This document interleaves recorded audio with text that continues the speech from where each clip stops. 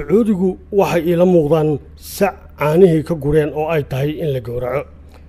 Taasi waa hadalladii uu dhowr jeer ku celceliyey musharaxa xisbiga jamhuuriga ee dalka maraykanka donald trump oo sidoo kale sacuudiga ku tilmaamay sac irmaan oo laga liso dahab iyo doolar donald trump waxa uu sacuudiga ka dalbanayaa inay bixiyaan saddex jeer laab lacagta ay xilligan siiyaan dalka maraykanka si uu uga ilaaliyo khataraha la kulmi kara iyadoo ciidamada maraykankuna ay gacan ka siiyaan hadidaadaha gudaha iyo debadeba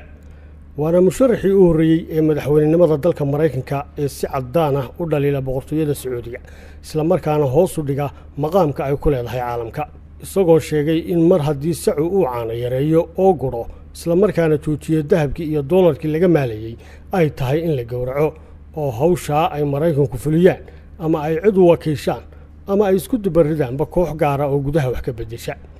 Hadalladan oo ah kuwo qaawan oo dariiqii diblomaasiyadeed ka maran si wacanna ay u fahamsan yihiin oo ula socdaan qoyska reer aali sacuud iyo cid kasta oo ay saamayn ku yeelanayaan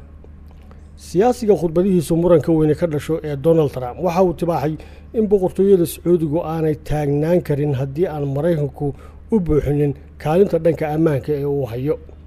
Trump waxaa kaloo uu ka dalbaday sacuudiga iyo dalalka kale ee khaliijka carabtu inay bixiyaan dhaqaalaha ku baxaya daryaalka qaxootiga suuriya oo lagu xanaanayn doono gudaha ciidda suuriya si ay ugu suuro gasho in maraykanku ku ilaaliyaan qaxootiga ah xeryahooda donald trump oo si gaara uga sii hadlay boqortooyada sacuudiga waxa uu sheegay inay lama huraan tahay in sacuudigu maraykanka siiyaan afar daloolow saddex dalool faa'iidada ay ka helaan khayraadkooda. Iyagoo wax ay hadda bixiyaan aanay ku fillayn oo u dhigmaynin hawsha ilaalinta ammaanka ee ay maraykanku u hayaan sida uu sheegay donald trump dadka ka faaloola siyaasadda caalamigihii waxay qabaan in hadalladan iyo fikradaha noocaasa ee ka soo baxaya donald trump ay keeni karaan in dhammaan xulafadii maraykanku ku lahaa caalamku ay si kedisa a isugu beddelaan cadowga maraykanka haddii uu madaxweyne noqdo musharax donald trump. Dhanka kale donald trump waxa uu aada uga hanwen yahay in kor loo sii qaado xidhiirka maraykanku la leeyahay israa'el isagoo ku tilmaamay israa'iil inay tahay rajada keliya ee maraykanku ku leeyahay gobolka bariga dhexe isagoo intaa ku daray in khatarta israa'iil dul hoganaysa xilligan ay ka xun tahay wakhti hore oo kasta taasoo uu sabab uga dhigay heshiiskii dowladda maraykanku ay dhowaan la gashay dalka iiraan ee ku saabsanaa cududda dhanka atomikada ee waddankaasi.